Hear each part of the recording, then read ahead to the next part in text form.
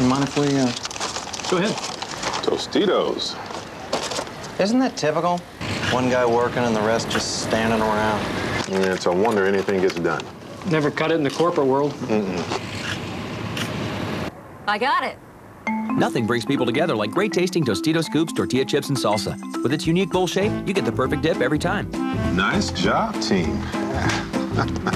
Meet you at the Tostitos.